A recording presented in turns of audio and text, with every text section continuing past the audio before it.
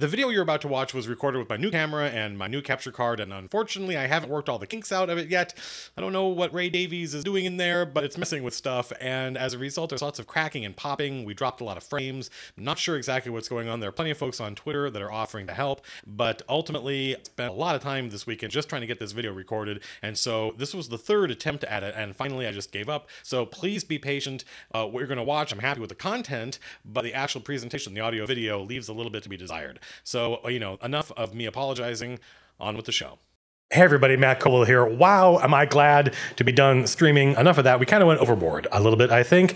Uh, we maybe do a video later on talking about why we stopped streaming, but I was super eager to get back to running the game, so this is the next running the game video. Although technically this video isn't about running the game, this is the minis video. It's about how to make your game look pretty. I was going to do one video on minis and terrain and then another video on running the game, tactical combat, but I think we have enough to talk about just with minis. So today we're going to talk about where to find minis online, where to get nice minis, where to get lots of minis cheap or a few minis expensive, and where to get minis painted or whether to paint them yourself. And we should start by saying you don't need minis to play D&D. I know lots of people play D&D without minis. That seems weird to me, but only in the sense of being literally unusual. My friends and I used minis when we started running back in 19 when I started playing 1985, 1986. We all used minis. I think some people perceive using minis as being old school and some people perceive not using minis as old school, but I guarantee you they used minis back in 1974. They used a line of minis. Actually, they had fantasy minis before they had D&D because they used a line of Middle-earth miniatures. So they had elves and dwarves and orcs and all that stuff. When I started back in 1985, we had minis. Uh, we didn't have good minis. We didn't have a lot of minis. We were we were kids. We didn't have any money. So, for instance, uh, we used dwarves for all the bad guys because it was the only mini our friend John had more than one of. So anytime we fought a lot of goblins or orcs, they were always dwarves. I had a mini for my character. It looked basically like this, except the character was drawing his sword. I loved that character. I loved that mini. And these were unpainted minis and they didn't have as much detail as they have now. But I think that I enjoyed that period. In fact, I think I recommend do not wait to play D&D until you have a great collection of miniatures. I think that's basically the lesson of this entire series, right? Don't wait until you have everything just the way you want it to get started. Just get started now. Play with M&Ms and Fig Newtons if that's all you have. You won't remember the combat years from now as being I did 12 damage and got to eat that M&M. You'll remember it as my barbarian hewed the orc in half with his great axe and the orc's guts spilled out as he gasped his last breath between green lips. Okay, enough of that. So the point is that you don't need minis to play. I use minis. I love using minis. I have a lot of really nicely painted minis, but I do think there's something to be said for using your imagination. I think your imagination wins every time. I know that sounds like something parents tell their kids when they can't afford an Xbox, but I really do believe that your imagination is better than anything you could put at the table. I happen to like using minis, but I encourage you to use whatever you have. All right, on with the show. I want to put my best advice up front so you don't have to slog through the video to find it. I think the easiest, cheapest way to get a lot of pretty good minis is to go on eBay and look for lots of pre-painted plastics. I don't mean lots as in a bunch. I mean I mean, I, I, guess that works, right? I mean, a lot, an auction lot, because Wizards of the Coast has been making minis for D&D for like 12 years now, I think. They make boxes of pre-painted plastics, and it's like buying a box of magic cards. You open them up, and you get some commons and some uncommons and some rares. There used to be a miniatures battle game associated with this, and that made sense to me. But now I think these are just the minis for D&D, and that is a little weird to me because it's like you bought Out of the Abyss, this adventure from Wizards of the Coast, and then you went and you bought these minis that look like they are the minis for the adventure you bought, but when you open them up, maybe you got the minis you need, maybe you didn't because it's random, right? So that seems a little strange to me, but I don't actually, maybe that's not actually how it works because I never buy those minis. What I will do though, and what I recommend you do is go on eBay and buy pre-painted lots because what happens is people have been buying these minis for years. They played games with them and now they're moving on and they're selling their minis. That cycle is always happening. There's always people getting out of whatever the hobby is that we're talking about and selling all their stuff on eBay. So you can find huge lots of pre-painted plastics. And typically they list every mini that's in the lot so you know exactly exactly what you're getting. Or you could get minis, specific individual minis online on eBay sometimes, or there are websites. There's Miniature Market and Troll and Toad and Noble Knight Games, and they often will have exactly the mini you want. Now, these minis aren't spectacular looking. They're pre-painted plastics. They're painted by kids in China for next to nothing, so it's hard to feel good about. But they look okay. They look better than probably what you would be able to paint on your own getting started. But the great thing is they are official D&D minis. Which means you can find actual specific minis from the monsters and the monster manual in plastic where you'd never be able to find them in metal. For instance, this guy, this is a Grick. This is unique to D&D. Uh, I'll put a picture of it up here in case you can't see it in the video. Good luck finding a metal version of one of these guys. Or these guys, the Slaad. I love the Slaad. My friend Jim watched the video where I said Slaads and Bugbears were my favorite D&D monsters. And so he gave me some of his pre-painted Slaads. Now, this is unique to D&D. Again, good luck finding a metal version. Go find a company that makes interdimensional toad demons. So that's the benefit of going online, going to eBay or going to Miniature Market, Troll and Toad, Noble Knight Games, and getting these pre-painted plastics is they are pretty good looking and they are specifically for D&D. And the nice thing is, even though they're not the best paint jobs in the world, I recommend them at least for monsters because a monster has a life expectancy of like, what, three, four, five rounds? A heroic mini is something that your players are going to use to represent their character for hours at a time, for weeks or months, or maybe even years. So it's worth spending a little bit of money, I think, to get a good heroic mini. But if you just need a whole bunch of monsters cheap, I seriously recommend going on eBay. You can get a lot of really good, well painted, hand painted minis on eBay because there's always people getting. You may have to set up an alert and go back, like check once a week, but you will eventually be able to find a lot, or even one, two at a time, of really well painted minis that somebody painted back when they played D&D. They're getting out of the hobby. They haven't played for a while. They went up in the attic and found all these, and they said, "Hey, you know, I enjoyed playing this game. I enjoyed playing the, using these minis and painting them. I might as well sell them now and generate some revenue because I don't play that game anymore." And you benefit from that. You can get really great old minis. I remember there were companies like Ral Partha. You can still get their minis on eBay often people painted them, played with them, and are selling them now. I think Ral Partha made great minis. I have a lot of affection for old like Grenadier minis or Heritage minis. They are more primitive. They're not as good sculptures. They're not as good sculpts as we call them as now. Uh, but I think modern minis look a lot more high fantasy. And these minis, Grenadier minis, Heritage minis, even the Ral Partha stuff looks a lot more primitive. And as a result, I think it makes D&D seem a lot more grounded. And I like that style. I like that more grounded style of D&D mini, but I also like high fantasy stuff. I mean, it's all good. So apart from eBay, what's another great place to find games? Try your local game store. You can go to your local game store and they will often carry miniatures, often lead usually Reaper minis, but also stuff like Games Workshop. And you can sit there looking at the minis on racks and hold them in your hand and see exactly how they look. And I think there's an advantage there to seeing them online because for one thing, when you go online to search for minis, you're often searching a database. You're typing in the kind of mini you're looking for and you get a list of minis that meet that description. Whereas if you go look at minis in person, you end up, you know, browsing around and you find stuff you would never find otherwise. So going to a game store is a great idea. Another thing you can get at game store are these. Actually, this, this actual the game right here. This is the old, I think, uh,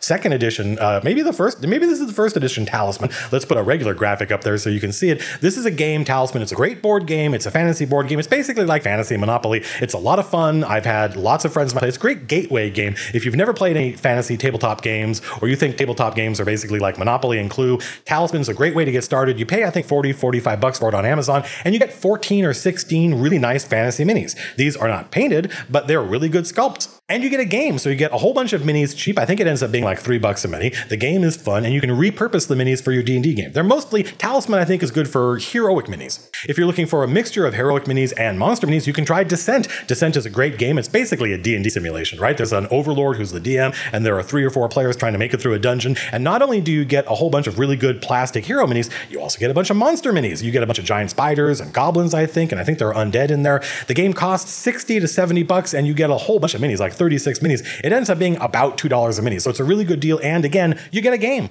So eBay's great. Your local game store is great. I think board games are a great place to get uh, good miniatures. But let's imagine you want to go online and look for a specific mini. Where's a good place to go? I recommend Reaper Mini. Reaper makes, I think, some of the best minis in the business, and they have a whole bunch of them. These guys have been making minis for years. They have hundreds, they may have thousands of different minis. They have great monster minis. They have great hero minis. They have great sculpts. I recommend their metal miniatures. They have a great miniature finder. You can type in like your character's race and class and what weapon they use, what armor they have, their gender, and you can find a mini that gets you like 80 to 90% of exactly what you imagine in your head.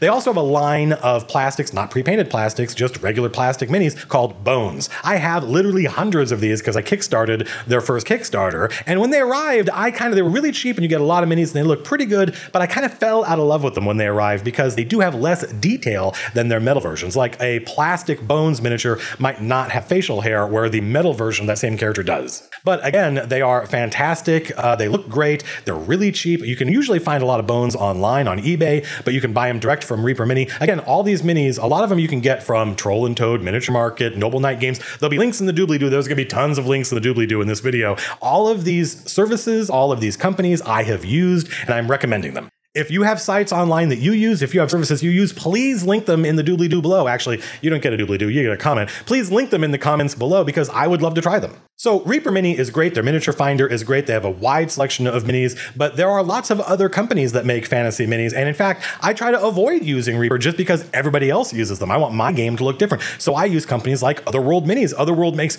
great old school minis. These are modern minis that they sell and make today, but they're all based on the art style of D&D from the original Monster Manual back in 1978. Again, I like that style. I like that simpler, more primitive style of character because to me it's more evocative, it seems more grounded, and to a certain extent, I mean, maybe this is an argument in favor of Bones. Uh, the more primitive the mini is, the less detail it has, the more work my imagination does. It's one of the reasons I liked my Knight mini with a helmet on because then he looked like whatever I wanted him to look like under the helmet. So Otherworld minis, I recommend them. I've used them. Dark Sword minis. Dark Sword minis are fantastic. These guys make incredibly, I think maybe these are the best heroic minis you can buy online for your character. Every time my friends open up my miniature box and they see my mini, it's always the Dark Sword minis that pop out and they go, whoa, I want to play that guy. In fact, I don't know. I've always thought it would be cool to start a game by showing players the minis and saying, pick your mini first and then make your character based on that. I don't know why we never do that. I think often players get frustrated because they can't find exactly the mini that works for their character. And you wouldn't have that problem if you started with the miniature first. So Dark Sword minis are fantastic. They have officially licensed uh, miniatures based on classic fantasy artists, specifically D&D fantasy artists like Keith Parkinson and Jeff Easley and Larry Elmore. They even have a licensed line of George Martin Game of Thrones minis, if that's your thing.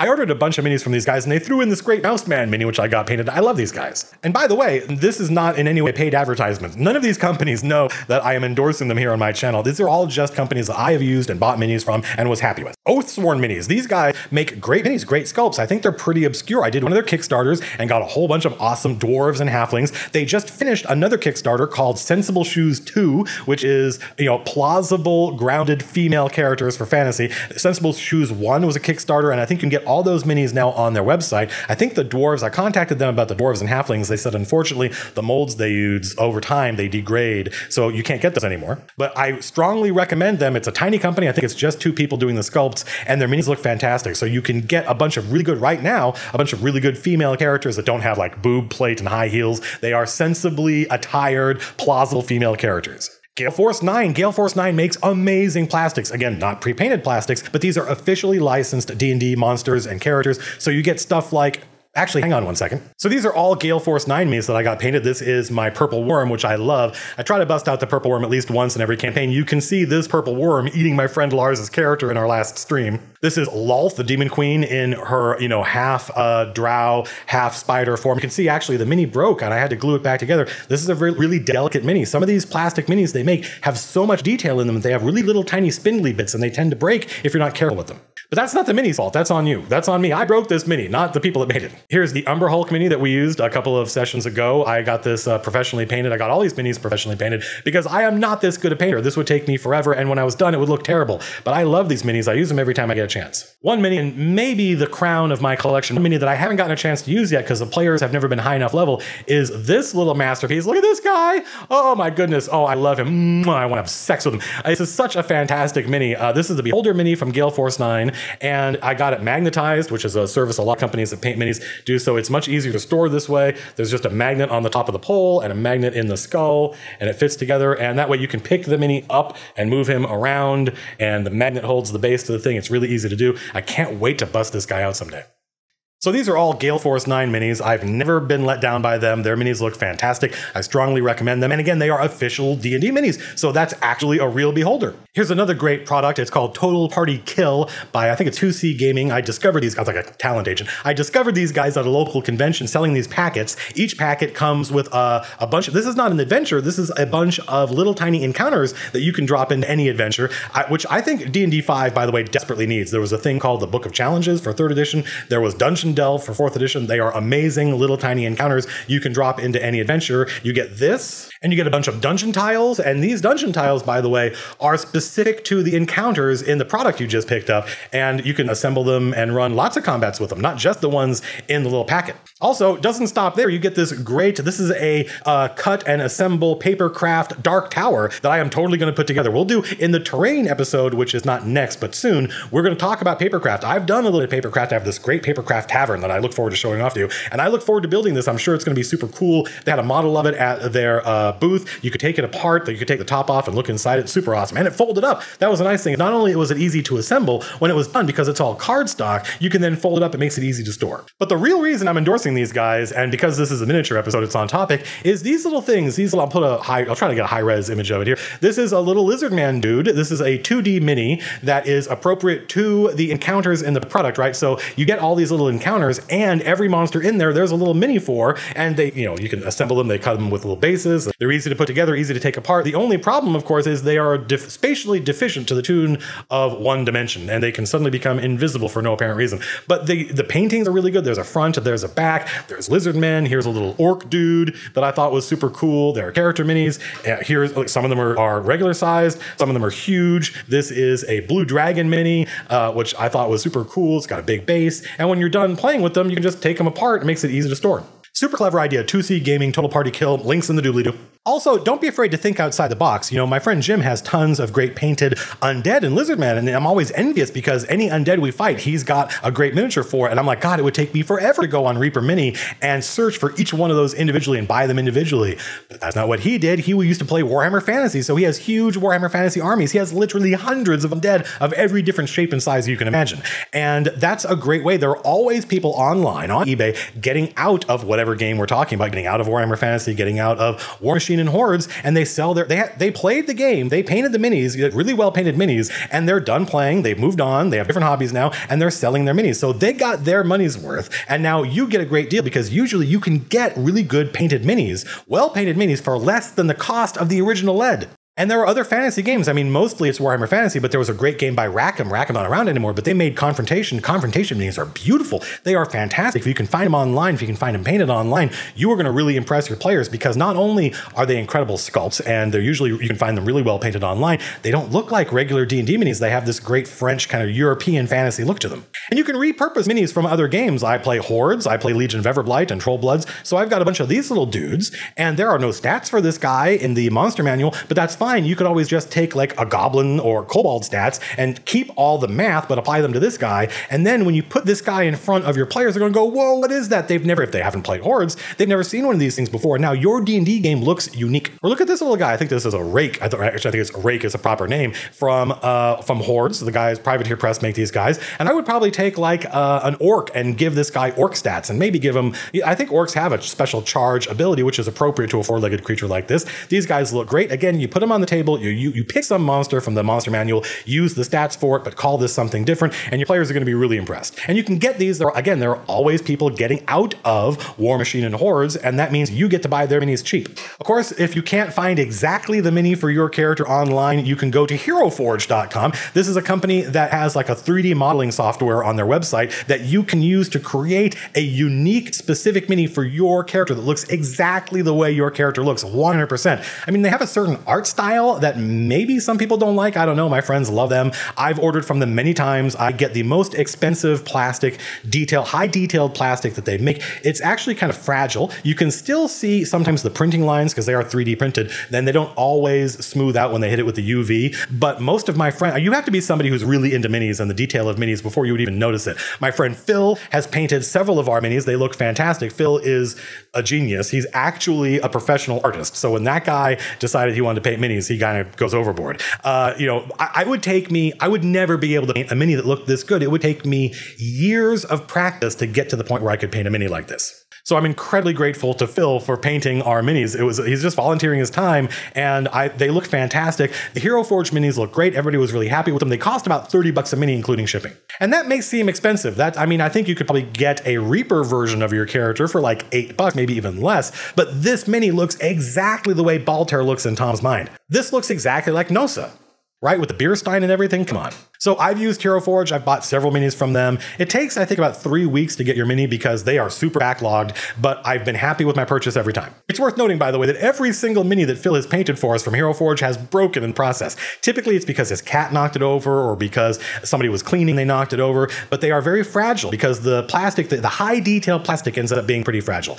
I've never had any problems with it. I've never actually sat down and tried to paint them. I'm sure once you start manhandling them and moving them around, there's a danger that the tiny little fiddly bits will break. But once it's been painted and sealed, it gets a little sturdier. And you should always pick your minis up by the base anyway, because that way the finger, the oil, the fingers from your oil, the oil from your fingers doesn't uh, wear off the paint. Speaking of paint, uh, how to get your minis painted, the easiest way obviously is to do it yourself. Painting minis is a fantastic hobby. I used to do it, I did it all the time. I never got that good at it because I didn't really start until I was in my like 30s and I didn't have that much time. I think the best start to the best start to time, wow, the best time to start learning how to paint minis is when you're a teenager because you got plenty of time. Then by the time you're in college, you're at this great intersection of lots of free time and you've gotten really good at painting minis. And so for that period, the minis you paint are going to look fantastic and you will use them the rest of your life. As long as D&D is your hobby, you'll be using these minis that you painted. So it's something that pays off forever. It's a great time investment. I quite enjoyed my time painting minis. You put a movie on or some music, and you just sit there for a couple of hours painting the mini. You learn the technique, you learn dry brushing, ink washing. This is not the how to paint your minis video because A, I'm not that good at it, but B,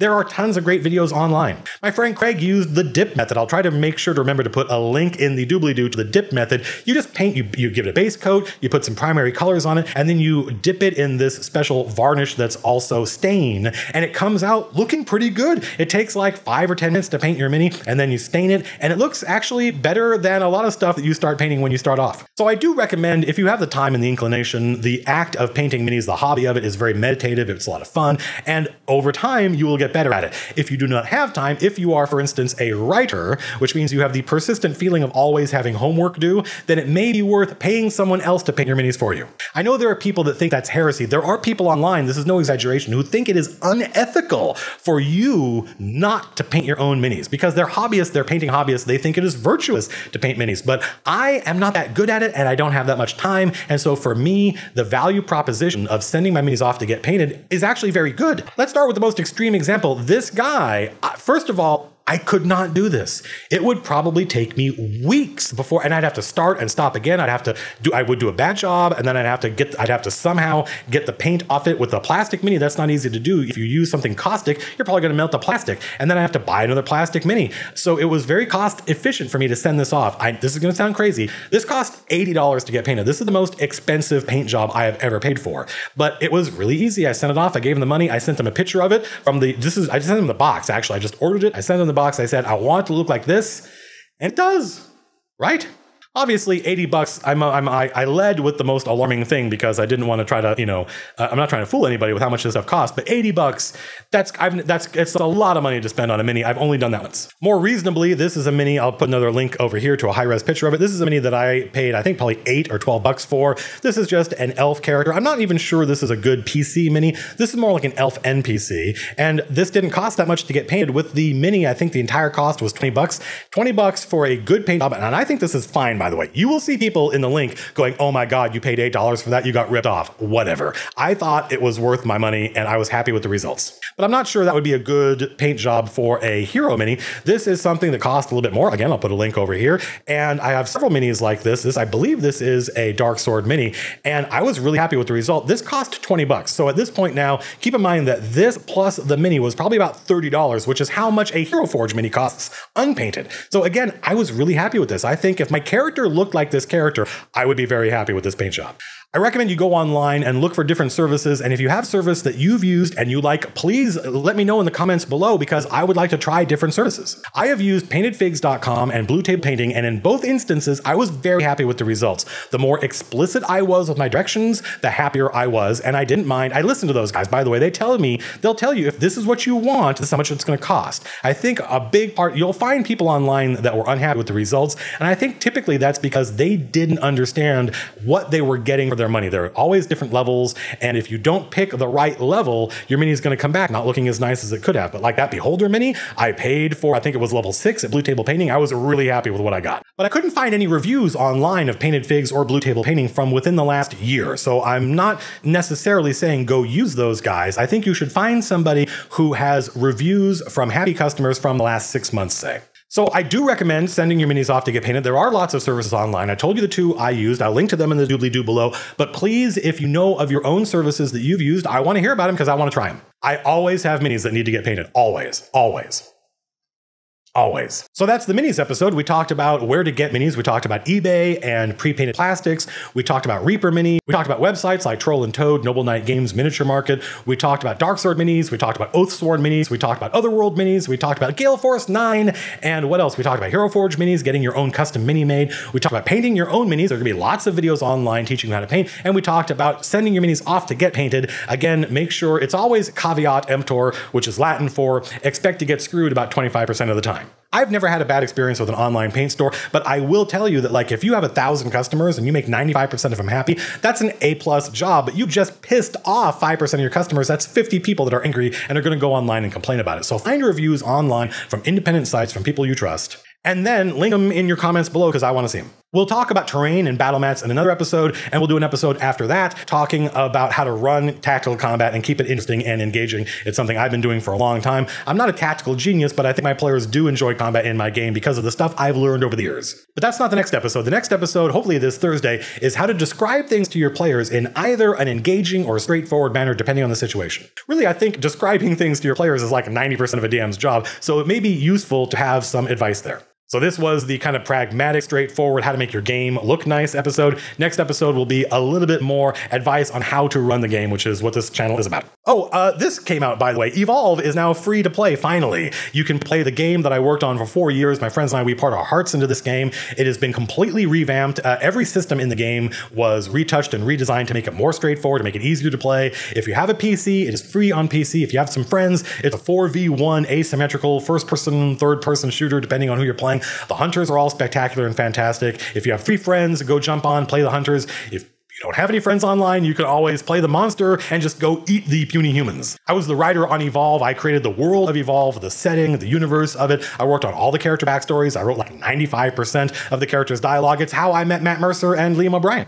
As always, I am an independent fantasy author. That means I write fantasy novels and I sell them on Kindle direct. I have never tried to get an agent or a publishing deal because I don't believe in putting people between the creators and the work. Each book is $4, of which I see 3 bucks. So if you buy both books, you just gave me 6 bucks and that revenue is what allowed me to get these nice new lights. I got a brand new camera, I'll put a picture of it here. I got an Elgato HD 60S capture card. It means I spend less time editing videos. It used to be my old camera, which looked quite nice. I could only record for 10 minutes at a time. The battery only lasted for 30 minutes. I had to swap it out. I had to record the audio and the video separately. And then at the end, I had to sync the audio and the video together and stitch all the 10 minute bits together into one line. It was a pain in the butt. So I don't have to do that anymore. I can just record for as long as I want and then edit it. And ideally, that means I spend less time editing and more time recording, thanks to you people buying my novels. Thank you very much. Some people have bought them and read them, and some of those people liked them and wrote nice reviews. That's it. New video hopefully Thursday, how to describe things to your players. Until then, peace out.